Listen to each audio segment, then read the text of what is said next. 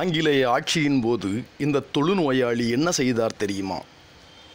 இந்திய விடுதலைக்காக பாடுபட்ட வீரர்கள் பலர் இருக்கிறார்கள். இவற்றில் வெளிச்சத்திற்கு வந்த சிலரை மட்டுமே நாம் படித்து கொண்டிருக்கிறோம். இந்திய சுதந்திரத்திற்காக தன்னுடைய உயிரை கூட துச்சமென துறந்திருக்கும் எண்ணற்ற வீரர்கள் சுப்பிரமணிய சிவாவும் ஒருவர்.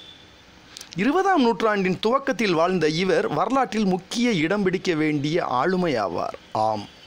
வீரத்துறவி சுப்பிரமணிய சிவா பிறந்த தினம் இன்று அக்டோபர் நாலாம் தேதி. தமிழக மக்களுக்கு தேச விடுதலை தாகம் ஏற்படுத்திய மிகச்சிறந்த பேச்சாளரும் கூட சுப்பிரமணிய சிவாவின் பிறந்த நாளான இன்று. அவரை பற்றிய சில சுவாரஸ்யமான தகவல்களை தெரிந்து கொள்ளலாம். என்னடா இது? வீரத்துறவி என்று தலைப்பில் கொடுத்துவிட்டு இவர் ஓர் சுதந்திர போராட்ட வீரர் என்கிறீர்களே என ஐயப்பாடு எழலாம். ஆம் இவர் அரசியலையும் ஆன்மீகத்தையும் இணைத்தே சுதந்திரத்திற்காக போராடினார். ஆகையால் இந்த தலைப்பு அவருக்கு மிகவும் பொருந்தும். செக்கிழுத்த வவுசிக்கும் மகாகவி பாரதியாருக்கும் நெருங்கிய தோழனாக விளங்கிய சுப்பிரமணிய சிவாவின் சொந்த ஊர் ஒருங்கிணைந்த மதுரை மாவட்டத்தில் இருந்து வத்தலகுண்டு. இப்போது திண்டுக்கல் மாவட்டத்தில் ஒரு பகுதி. ராஜமையருக்கும் நாகலட்சுமி அம்மையாருக்கும் மகனாக ஆயிரத்தி எண்ணூற்றி எண்பத்தி நாலாம் ஆண்டு இதே நாலாம் தேதி பிறந்தார். இவருக்கு இரண்டு சகோதரிகள் உண்டு. வறுமை காரணமாக திருவனந்தபுரம் சென்று சத்திரத்தில் தங்கி மேற்படிப்பு படித்தார். கோவை புனித மைக்கேல்ஸ் கல்லூரியில் ஓராண்டு படித்தார். ஆயிரத்தி எண்ணூற்றி தொண்ணூற்றி ஒன்பதில் மீனாட்சியம்மை என்பவரை திருமணம் செய்து கொண்டார். தூத்துக்குடியில் காவல் நிலையத்தில் அலுவலக உதவியாளராக வேலை செய்தார். பின்பு வாழ்க்கையில் விரக்தியுற்று துறவியானார்.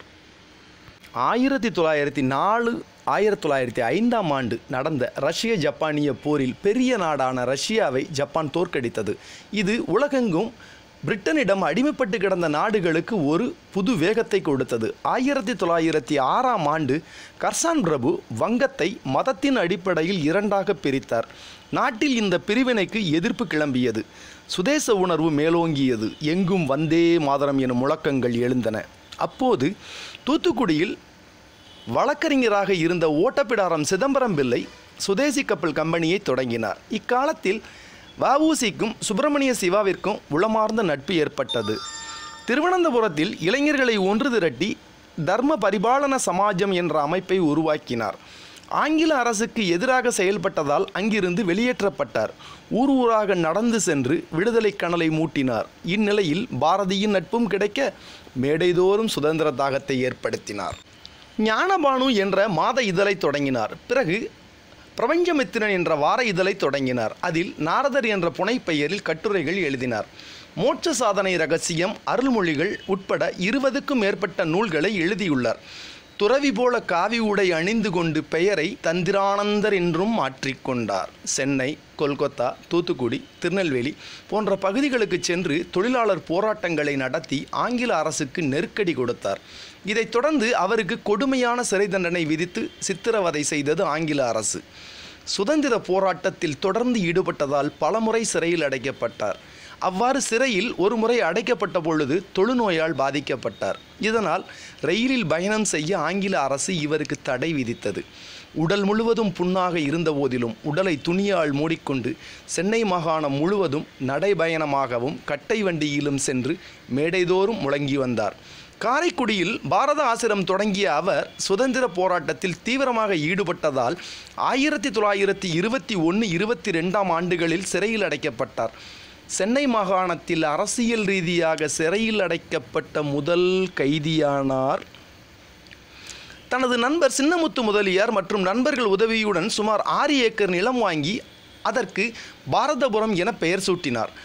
அதில் பாரத மாதாவிற்கு கோவில் கட்டவும் முடிவு செய்தார். இந்துக்கள் இஸ்லாமியர்கள் கிறிஸ்தவர்கள் பௌத்தர்கள் சீக்கியர்கள் உள்ளிட்ட அனைத்து மதத்தினரும் ஜாதி மத பேதமின்றி வழிபடுவதற்கு ஆலயமாக அது இருக்க வேண்டும் என்று கனவு கண்டார். இங்கு பூசாரி இருக்கக்கூடாது. ஆலயத்துக்கு வரும் பக்தர்கள் தாமாகவே மாதாவை தரிசித்து செல்ல வேண்டும் என்று விரும்பினார். ஆங்கிலேய அரசு தடை. தமிழகம் முழுவதும் பயணம் செய்து ஆலயத்தை கட்டுவதற்கு தேவையான தொகையை திரட்ட சிவா முயன்ற பொழுது தொழுநோய் இருப்பதை காரணம் காட்டி பஸ் ரயிலில் செல்லக்கூடாது என ஆங்கிலேய அரசு தடை விதித்தது. இருப்பினும் கால்நடையாகவும் கட்டை வண்டியிலும் ஊர் ஊராக பயணம் செய்து சொற்பொழிவாற்றி பாரத மாதா கோவில் கட்ட நிதி திரட்டினார். ஆயிரத்தி தொள்ளாயிரத்தி இருபத்தி ஐந்தாம் ஆண்டு ஏழாம் மாதம் இருபத்தி ரெண்டாம் தேதி தனது சுற்றுப்பயணத்தை முடித்துக்கொண்டு பாரத ஆசிரமத்திற்கு வந்த அவர் மறுநாள் தன்னுடைய நாற்பத்தி ஓராவது வயதில் காலமானார்.